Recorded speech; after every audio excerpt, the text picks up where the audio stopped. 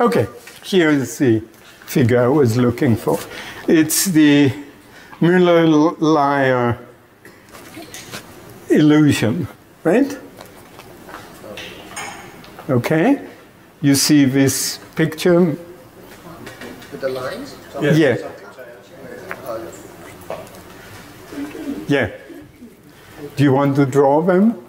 They have to be exactly the same length. You know, you see that, right? Yeah, we, we can see. Yeah. This is, the lines are exactly the same length, and yet they always appear to be of different length. They're not the same length. Yes, they are exactly. yes, they are exactly. These lines are different lengths to those No, no, lines. the, this, this line here, the horizontal line of the. never said Okay, line. okay. So the horizontal line, thank you for the precision, is exactly the same. And yet, when you look at them, it looks like this is a lot, this line is longer than that line, right? Yeah. Yeah. so, that sh- you should like that because that's similar to Gestalt, right? Yeah, yeah, yeah.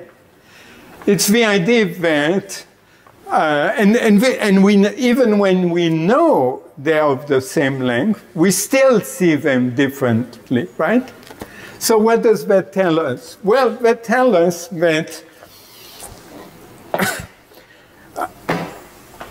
in our experience, what is given to us is given as a function of the whole. So when we look at these two lines, we wish we could isolate them, but as long as we see the only way we could do that is we would have to cut completely the non horizontal lines, right? As long as we see these two, the non horizontal lines, we cannot but see these lines as being of different length, right? Yeah. And that's why, well, that's what Phra Pandit was talking in his talk uh, uh, a couple of weeks ago, is the idea that consciousness, that what is given in consciousness is not different elements which exist, comes to us kind of separately, but rather that consciousness makes sense of a whole situation and that each object is stands in relation to this whole. So that's why, for example, in Gestalt uh, uh, philosophy, psychology, uh, they always talk a lot more than in phenomenology, but it's basically very similar tradition, how we see object against the background, right?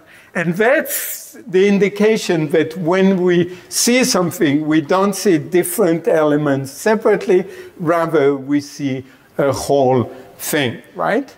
Can I, But George, Can I make an sounds like the example? same thing. Yes, please. so that's an example. Because what you see is a chair, not four pipes, a back and a base. You see one chair.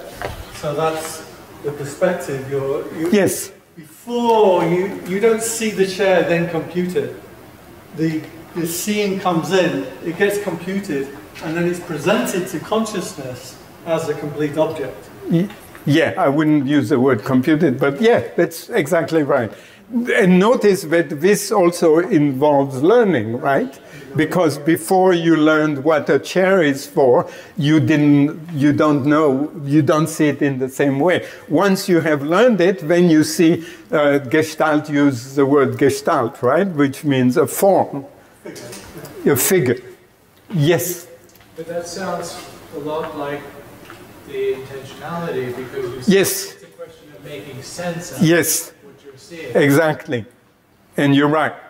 Remember, the main feature is for Husserl intentionality. Okay. Yes. But I mentioned that because uh, that's an important feature of consciousness understood in this perspective, right? That it's holistic. And that's why uh, there is really strong, that's why people who hold this view will have a strong suspicion that computationalism might not be able to explain consciousness because it's not clear how you go from the processing of information one by one to this whole view, right? To this whole experience as a whole, right?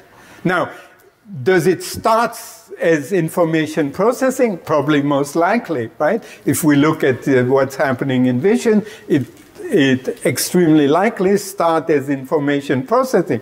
But as it gets information gets integrated, it gets integrated to, into a whole, and that's what our uh, uh, conscious, that's what consciousness is, or that's why our experience is, right? And so the challenge uh, to explain consciousness is precisely how you go from the, if you want to say, mechanistic basis uh, of cognition to this integrated whole, which is our experience. And the people who, like myself, who don't hold a computationalist view, think that you cannot do it for computation, that it will have to be different mechanism having to do with how neurons and the brain works. Now, people who hold this computational view thinks, no, it's just if it's complicated enough, we can do it. Okay, these are two hypotheses, and I have a view, but obviously the question is on the table, and obviously we don't know. Yes?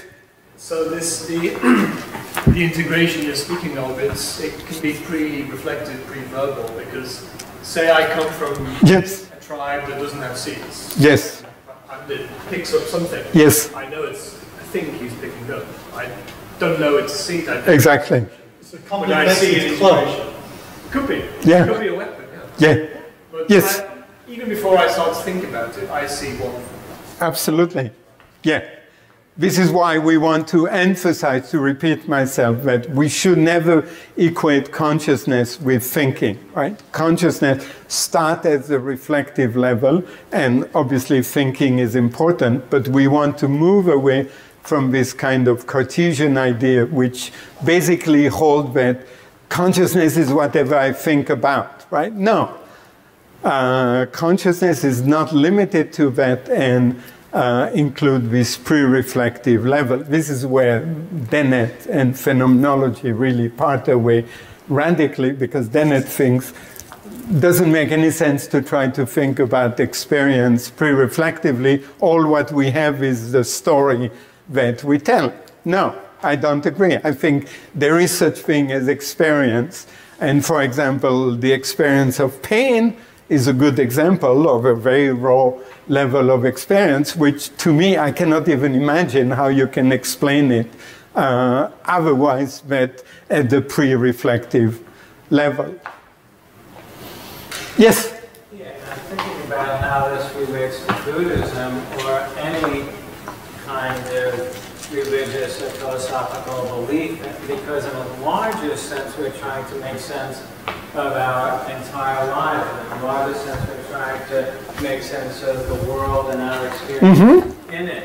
But I'm thinking that this is like a component of that. I remember Philip Roth novel where he ends the novel talking about how for him telling stories, whether it's true stories from our experience or made up stories, Yeah. telling stories is a way in which we understand our lives, our experiences mm-hmm. in the world. In fact, I think it's the most basic component of all human experience is telling stories. And No, I would not say it's the most basic, but it's one level of makes, making sense.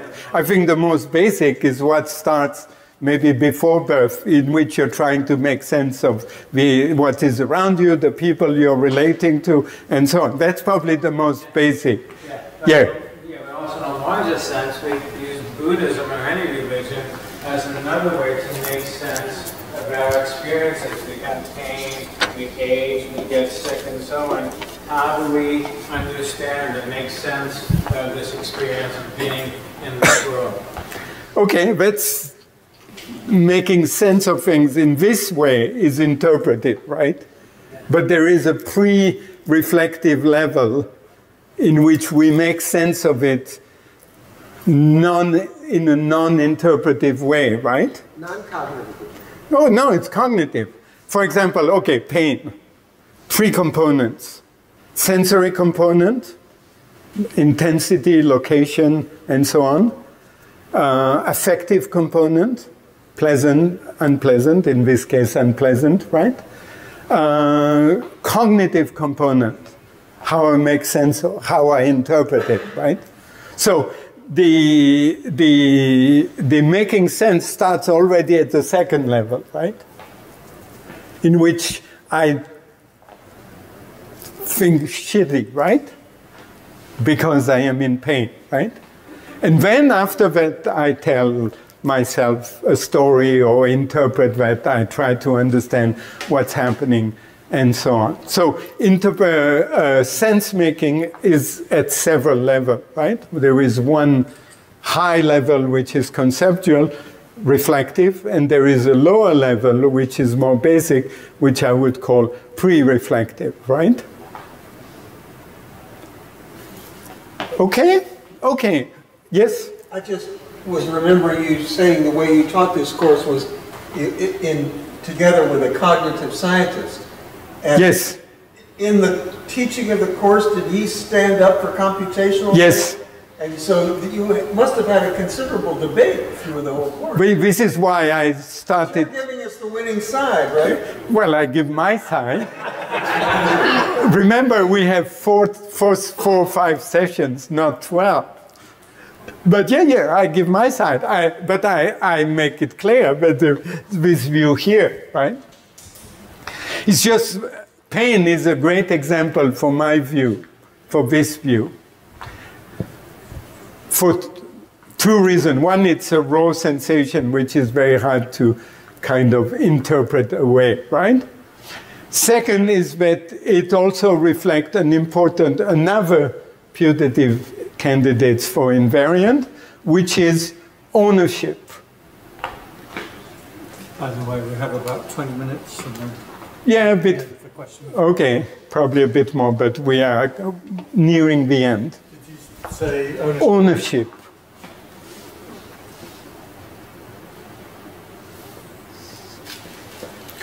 And maybe put in parentheses perspectival ownership.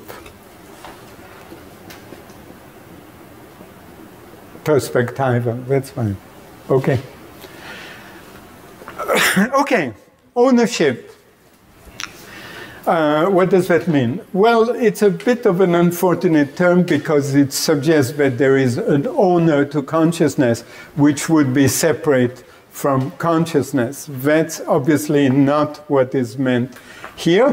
What is meant here is perspectival ownership, meaning the fact that consciousness is always for a subject, it's for me. So, consciousness is not a set of input that are given uh, impersonally, but it's always happening to somebody, for somebody, for an organism. Remember what I talked about phenomenal consciousness? I talked about how is it for the organism that is undergoing the experience. That's ownership, the fact that there is a for somebody. Okay? so, consciousness is not given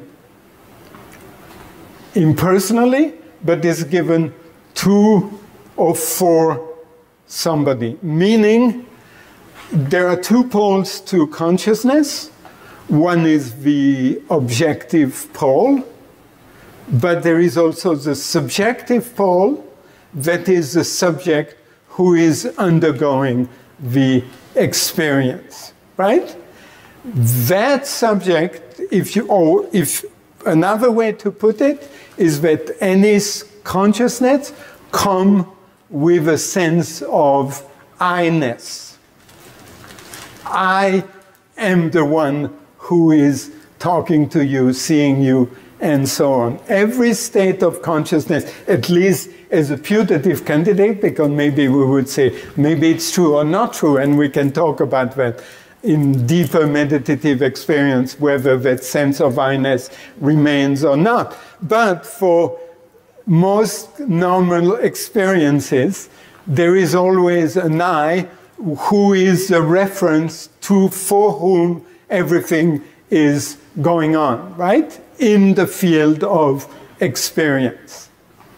That's a very important feature of consciousness. Hence, uh, phenomenologists, and on that they all agree, talk about consciousness as having being a form of pre-reflective self-awareness.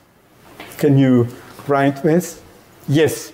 Is that number four or part of No, number it's it's an explanation of three? this. reflective. Uh, Self-awareness. minus synonymous, synonymous with separateness? No. No.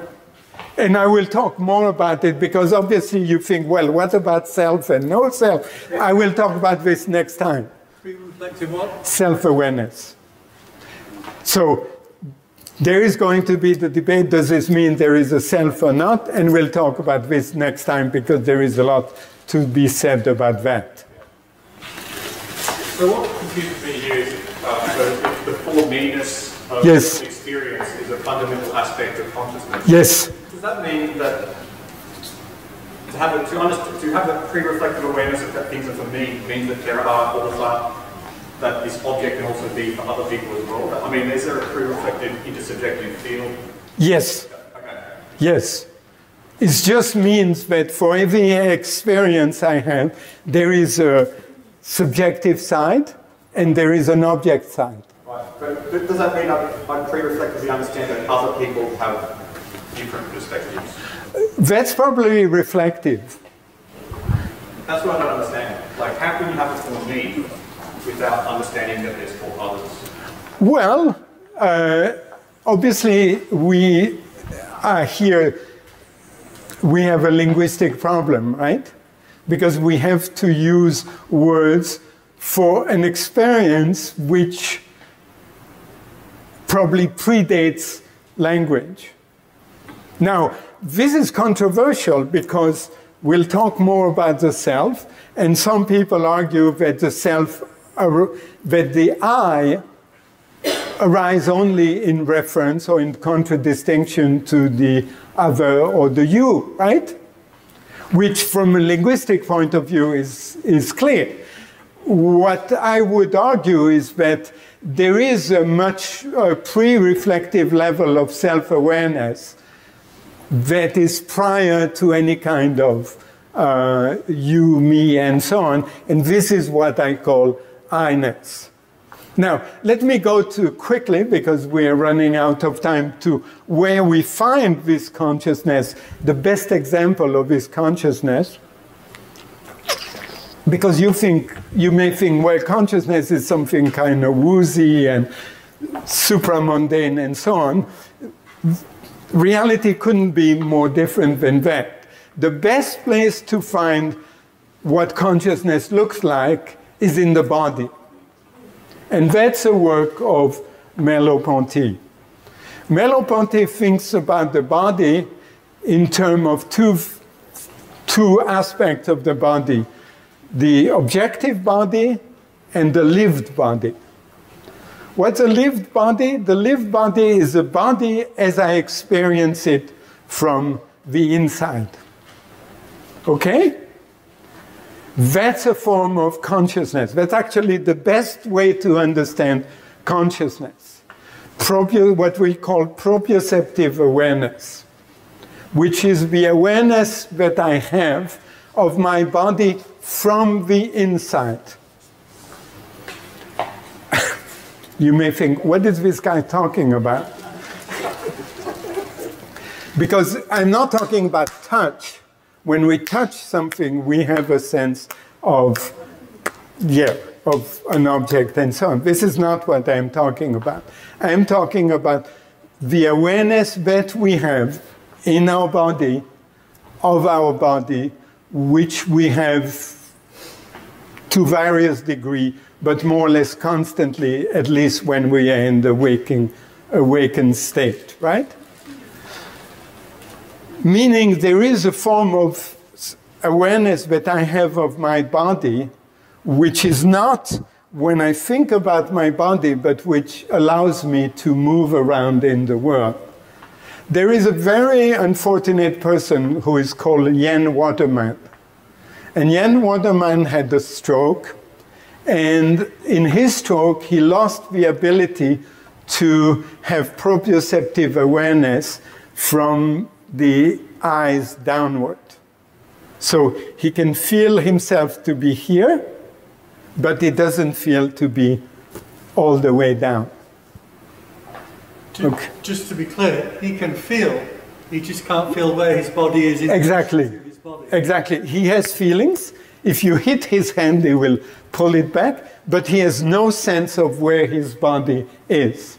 So, how does he function in the world? Like this.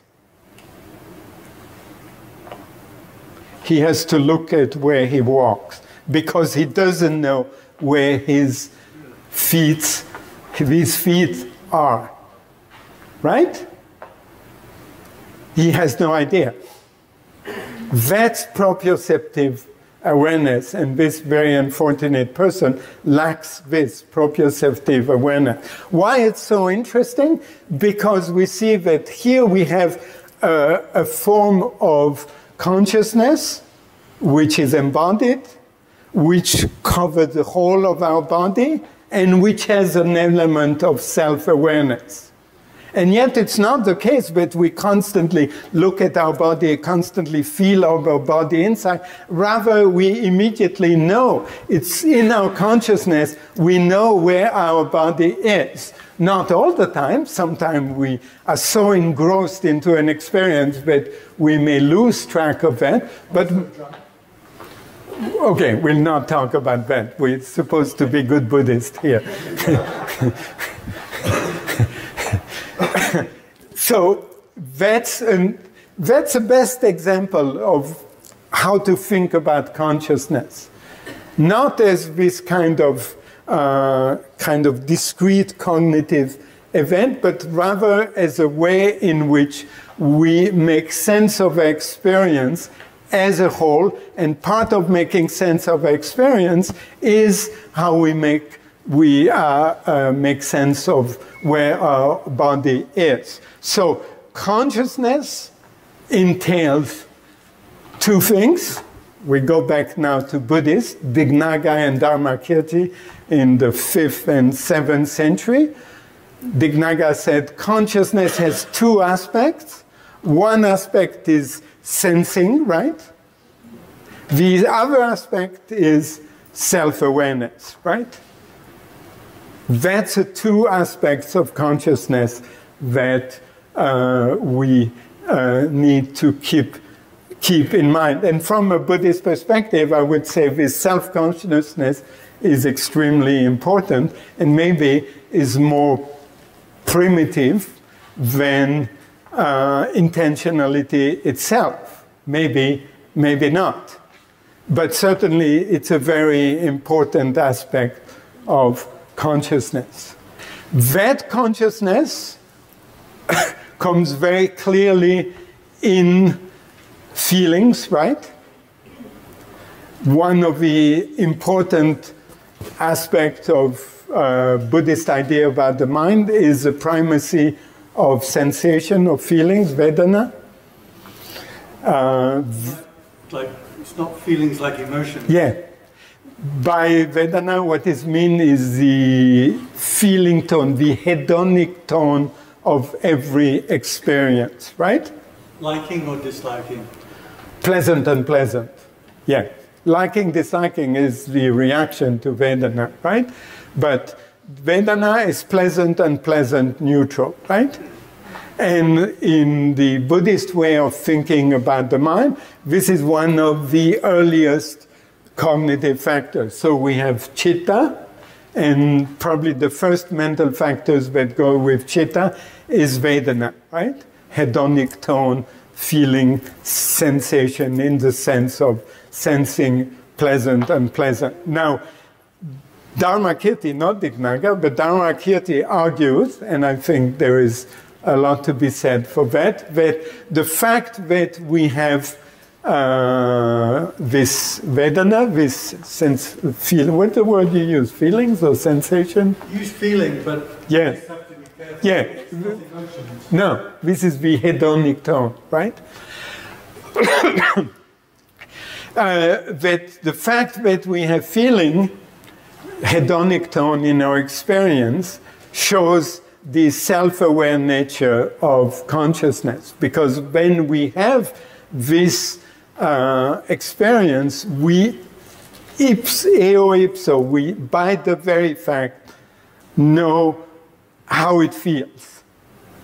Now it may feel neutral and we don't feel anything, so it doesn't matter. But if it feels pleasant or unpleasant, we immediately know, right? It's not like we need to think about that. No. Part of the experience, the experience itself is this feeling, this hedonic tone, right? And Dharmakirti argues that shows that consciousness is not just intentional, but it has also this self aware aspect. So, consciousness in this way of thinking is a way of making sense of the world in reference to oneself and particularly to one's feelings, right? That's um, one of the main ways we have to make sense of the world, is how it feels, right? Yeah, to, to the organism. Yeah, how the organism feel about the experience. So there is the sensing, there is the perception of the world, and then there is this factor of self-awareness, which informs us immediately how it feels. Good, not good. And that you can plug in a whole lot of things about Buddhism, because that's where attachment, aversion starts, karma, and so on. Everything starts from there, right? Oops. Yes. We're only talking about waking consciousness as a form of consciousness. Uh, Not other forms of Yeah, we did that last week. You weren't here. Yeah. yes. Yeah. Consciousness, uh, yeah, there is waking, but there is dream state, there is hypnosis. Or Mao. If it, Yes. right? Like, you know. Yes, there are all kind of, yes. And, and to which extent these putative candidates uh, are in that level of experience or not, that's a question. For example, I would argue that in deep sleep, from a yogic perspective, right, often in deep sleep there is consciousness, and maybe the only consciousness there is is this self, pre reflective self awareness. That's the only thing that is in consciousness. Arguably, there is no real intentionality there, right? So, yeah, this is also why I call them putative candidates for invariant features of experience. Yeah, but dream, we have intentionality in dreams too, right? Because we are making sense of as we go. It doesn't make sense after, but uh, in the dream itself, we are afraid, right? These candidates, you go one, two, three. One, two, three, yeah. Are they mutually exclusive? No. Collective? You need to have all of them in order to. Putatively. Putatively, exactly. Right. Okay. okay. So, so they, so it's that would be if you had all three together, you would have the. Well, that's our awakened experience, right? Uh, I would say dream experience, we probably have all three, and then we can go down, down, down, and then obviously talk about dreamless consciousness in dreamless sleep is still pretty uh, controversial. Uh, con- talking about consciousness in dream is starting to become standard. You would not believe that a few years ago everybody would talk about consciousness when I wake up, right? As if consciousness did not exist when I am sleeping. So in dream, people are starting to realize that there is consciousness, and for example, experiences of lucid dreaming is starting to become a little bit more mainstream. Uh, dreamless consciousness in dreamless sleep, that's still debatable. That's people write about that, and uh, I personally think there is consciousness because there is a sense of time. When I wake up, I have a sense of time, whereas when I wake up from uh, anesthesia, as far as I remember, I don't have a sense of time, right? It's just as if I had been put to sleep immediately. Whereas when I wake up from a sleepless dream, from a, from a sorry, dreamless sleep, uh, I do have, I think I have a sense of time. So I would think that this indicates something like an experience, right? But yeah, that's still pretty on the fringe. And in deep meditation, the same. You know, the sense of time. Uh, well, it's interesting because they say that when you're in real deep meditation, you can wake up exactly at the right moment. I don't know, I'm not at that, so I have no, uh, I would totally defer to people who have this kind of meditative abilities. Okay? Yes? We're, we're only, so three is the total. Uh, Yes, so, we now have 10 minutes for questions. we have a bit more. Yeah, but 12 minutes for questions. there might be no question. Yes. These are um, these three things, these PCIe. Are they what Husserl said? Uh, You can find them in Husserl, yeah. Remember, what we're doing here is like Husserl for the masses, right? Because, yeah, yes, it absolutely goes back to Husserl. I don't know if the term ownership itself goes back to Husserl or not. I'm not sure, but, but uh, all this is pre-reflective self-awareness, holism, all this goes back to Husserl. So the, the third one, ownership, this is really about embodied personhood. No, it's about self awareness. For Husserl, for all the phenomenologists, and for uh, Buddhists like Dharmakirti and all the figures who follow him, awareness or consciousness always entails self consciousness. Self as an embodied being. Well, that is disputable, but by self consciousness here is mean not consciousness of the self, but simply awareness that this is happening to me. To For, to the subject.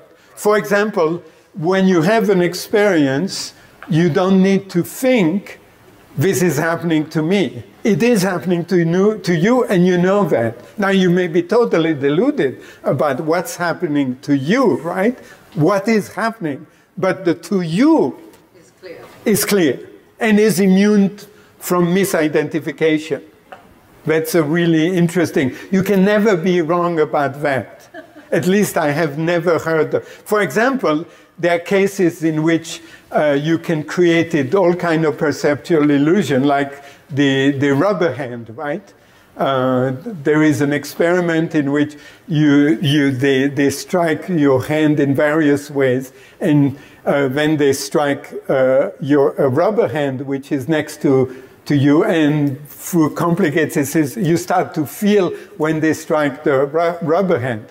And then at the end of the experiment, they bring the hammer and they smash the hand, and you scream. now, you're mistaken about what's happening to you, but that is happening to you. You're not mistaken. So, the to you is what they say in some phenomenological discussion is immune to misidentification. For example, when you identify yourself, you can be mistaken. For example, I look in, in the mirror and I see the old guy and I say, This is not me. I am 35 years old. This cannot be me. Right? This is not immune to misidentification because that's an identification through of myself as an object, right? Here, what we're talking is identification as a subject, right? The fact that you, it's always to you that is happening. Yes? Uh, could you say a little bit about what, in your view, uh, the consequences of holding the gatekeeper model or the phenomenological model? Uh, in terms of, well, one of the consequences I talked about is that if you hold the gatekeeper view, uh, I think you have a hard time explaining, uh, for example, the rich uh, phenomenology of our visual perception. Because now you may, you may think, yeah, okay, but in fact the brain is processing a pretty narrow range of sensation. Yes, it's true. This is really what I see clearly is actually pretty small. But then I have a sense of the room and, and so on. Now you could say maybe it's mistaken, okay, but it is there as an appearance. It's given to me in experience. That's why I think the gatekeeper view is not a very good view because it really has a trouble to account for the richness of our experience because everything becomes sliced in small pieces and you don't have a way to explain this holistic feature of consciousness, which is what we experience, I think. So what we were doing today is trying to get some handle on some of the features of our experience, right? And I think that if we're right in that description, then this view is going to have a hard time to account for some of the features, particularly in this case, the perspectival or holistic feature of consciousness. That would be one of the consequences or one of the way the two views differ, right? Yeah. The uh, temporal aspects of consciousness. Yeah. No, that's next time. Next time is the temporal aspect of consciousness and the self. But it's not a putative candidate? Uh, it's different. Yeah. It's good. Yeah. Sure. Don't want to take too much more time, but uh, you did this lecture with, with somebody else who's more on the gatekeeper model. Yes. Uh, just in terms of what you were saying, of how the gatekeeper model would have difficulty dealing with yes. the, uh, the holism and so on. What's the what's the converse argument that your your your colleague would have would have said in refute of what you just said? Well, I will not tell you.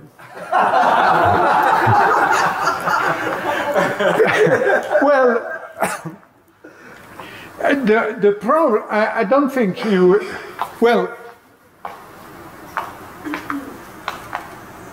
I mean, this is why I use the word putative in a way, because how sure are we that these uh, features are there or not? Okay? This is one set of questions we can raise.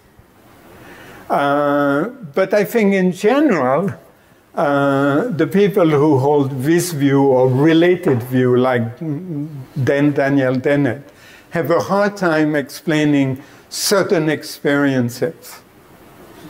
And this is where, in general, I push my case. And my friend actually, I don't really know what he thinks. But, uh, you know, he's explaining, he's, he does cognitive science, so he's explaining the point of view. But uh, this is why I, I, emphasize in my class and here the importance of the pre reflective level, because as soon as you move to the reflective, then it's extremely easy for the gatekeeper view to go through because we have excellent way to think about thinking in terms of language and so on, right? So as soon as you go to the, the, the reflective level, the task of the gatekeeper becomes uh, easier. This is why in in my course, I always emphasize that we pay attention to consciousness at the pre reflective level because this is where it starts. Obviously, there is a whole reflective level which is hugely important and so on, but we want to pay special attention to the pre reflective level in order to get us out of this view that to be conscious is, or consciousness is what we think about right? And I think to people who meditate, hopefully this makes sense. This is why I make my students meditate in that class, and that opens them, them to a whole different level, a much more basic level of experience, get them out of the head and get them to look at breath and so on. It's not just an easy way to use up half an hour of your class time. No, it's a short moment. It, is, it might be in the next class I teach, but that's another, not for here. Yes? Just looking at the, the, the gatekeeper model and the um, phenomenal field model. and I guess in the gatekeeper model, the I, the sense of the I, would attach itself to attention. And in the phenomenal field model, the sense of I attaches itself to consciousness. Yes. But in, the, in this model, in a way, you, you can easily plug in an idea that the I is only a conceptual construction. Well, in this view, this is why it has interesting consequence for the question of self. In this view, the I, in a certain sense of the word, right, is intrinsic to consciousness. In that view, it doesn't need to be. So this is why people like Daniel Dennett and so on will favor view like that. And they will say, no, the I is just a narrative, an effect of narrativity. It's a conceptual construction. Not an experience. I, in this view, the I is seen as an intrinsic feature of experience. Now, does that mean there is a self or not? We'll talk about next time. Phenomenologists are sharply divided on that. Husserl talks about transcendental ego. Merleau-Ponty doesn't talk about the self. Sartre in his early book, uh, The Transcendence of the Ego, talks about pretty much a Buddhist model of consciousness. He doesn't know that it's a Buddhist model, but it's pretty much Dharmakirti idea of consciousness. So there is no self. And then later, in uh, his later book, uh, L'être et le néant, what being and nothingness, he comes back to an idea that there is a self. So phenomenologists are, are very divided about that. And this all comes from this idea that this I is an intrinsic feature of uh, consciousness. And this is the second topic I want to talk about next time after talking about time consciousness. Okay? One more? Yes? Could you quickly define transcendental? Uh, yes, condition of the possibility.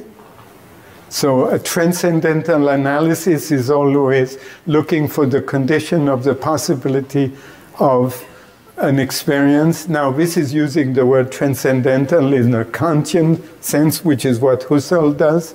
So when he talks about transcendental, it means condition of the possibility. So for example, it would be condition of the possibility of experience, right?